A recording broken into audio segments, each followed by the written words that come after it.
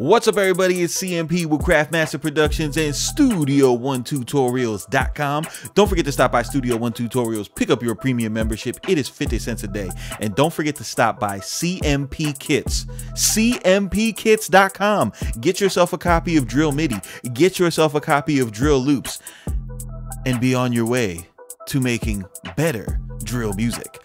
Don't forget to go to Spotify and please follow the Spicy Sundays podcast for the spiciest producer takes of all time. Now, today, we're going to be going into something that is super dope. We're going to be looking at um, the MPC software, MPC One software, and I'm going to be showing you guys how to get access to the infamous, uh, the legendary MPC swing, um, so that you can take advantage of it in your uh, your productions. Now, what I have here is I've got a, I've got a um a little like a little drillish pattern that I started up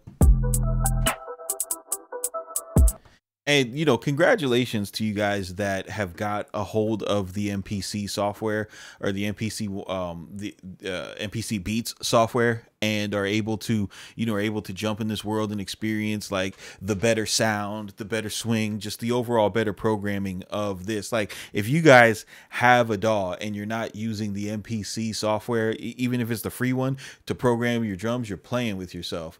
Now what I'm now what I'm looking at here is it's just a little pattern. Um and I want to show you guys a couple things. So first is I've had this, I, you know, I click these in, I'm on 116 note. If you don't have a, controller, you know, figuring out how to change the, the note values and the swing and everything could be a little confusing. So um, inside, inside of the MPC for as long as quantize has been a thing you it, it, the uh the name of that function is not quantize. It's called time correct. So when you see TC, that's what that is. Now you could turn this on, you could turn this off.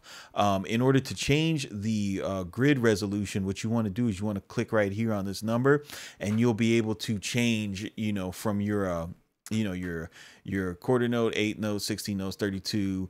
Um, if you're used to FL Studio, then you guys have that stupid you know three step two step uh, shit that they do that no other software does. So it's hard to do drums in any other software and i apologize for that. But what i want to do here is i want to is i want to put like some 32 note rolls on on on a couple of these hi-hats. So the way to go about it you know to roll your hi-hats and stuff is I'll just, you know, I'll just go in here and now that I have the 32 note roll, I'm going to and this is similar to what I would do in Ableton Live.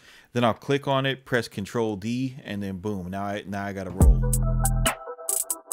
Right. So, and then I can go ahead and adjust the velocity. One of the best parts of the MPC software is the way that it handles velocity. Like just I don't know what it is. It it should it should be as simple as turning the volume up and down, but it just it sounds it it has a better vibe out of here. All right, so I hear another place I want to put a roll, and I'm going to go ahead and just do that real quick. Right here. And the good thing about it is, is no matter what the grid resolution is, is is it has a it has a really good snap when you're use when you're using the mouse. So you don't have to be like hundred percent zoomed in, you know, on top of it. You know, you know, got your laptop all in your face in order to be able to work with it.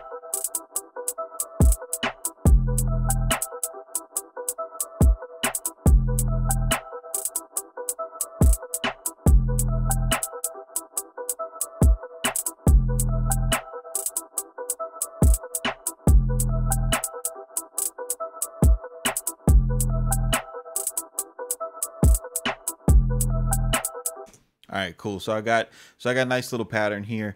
Now, say like I thought like, man, this would, you know, this would sound this would sound a lot better if um if like you know I could do like the foreign tech trick where I wanna I wanna take these hi hats and push them you know and push them right into the beat uh you know have them be offset so if you want to go and do that though you know instead of highlighting them and dragging them over there is you know there's there's a way that is you know the MPC way to do this and what you want to do is you want to make friends with this menu up here these three little lines and take this edit box seriously, right? So the way you want to think about it is when you're using the MPC software, if you want to edit something, come to the edit menu first, right?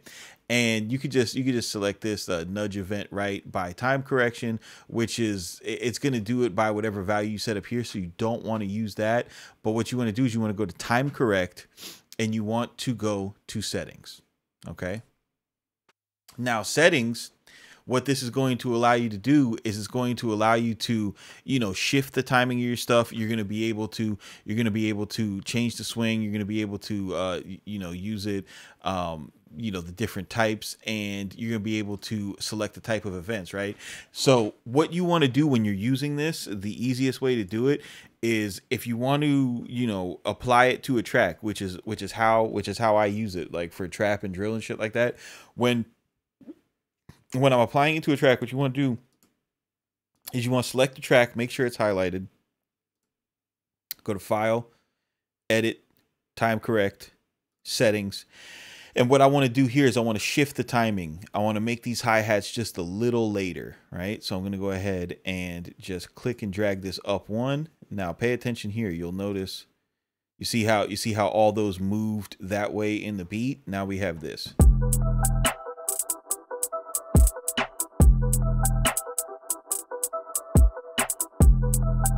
Now for my snares, I like to, you know, I like to, I like to pull those a little early, right? So um, I'm going to go back in here to edit. I'm going to time correct. I'm going to go to settings and I'm going to shift the timing negative one, right? And that's, you know, watch these squares right here.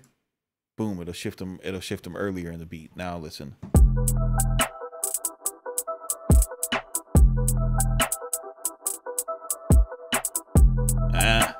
All right, we're good. We're off the grid. Now for the kicks, um, I have uh, I have something that I like for double time settings. I will go to edit and I will go to time correct. We'll go to settings. These now this is important. My kicks, you know, when I when I input them, I'm I'm inputting them on eighth notes. So you want to make sure that you use the correct time division in which you you know in which you uh, you know either click or played your uh your notes in. I want to set this. I don't want to shift these over any. I just want them. I just want to swing them, right? So that's that. And I'm going to set the swing to like like 51 or 52, just little subtle changes.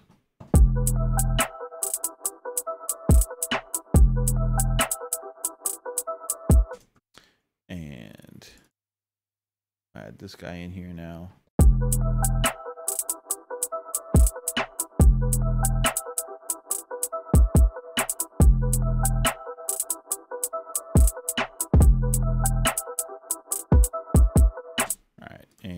Now we go back to it one more time. When you click in new notes to make sure that you get it time correct settings.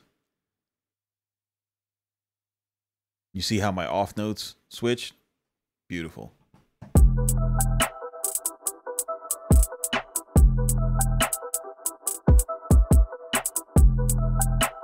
and just those just those little just those little changes and you know inconsistencies in the timing in the timing of your drums um it's going to it's gonna it's gonna give your sound just just such a better feel. Like you see uh, you know we're you know we're off the grid nothing you know nothing is stagnant and it does it in the you know in that typical you know, beautiful, just so pleasing to listen to MPC fashion. And now that you guys have the MPC beat software, anybody can do this. So you don't have to pretend like it doesn't exist. You don't have to pretend like MPC timing isn't a big deal. Everybody can use it for free. Uh, go out and get it. Try it out. This is CMP with Craftmaster Productions, Studio One Tutorials.com. You guys keep it simple, but do not be basic. And we will see you on the next one, fam.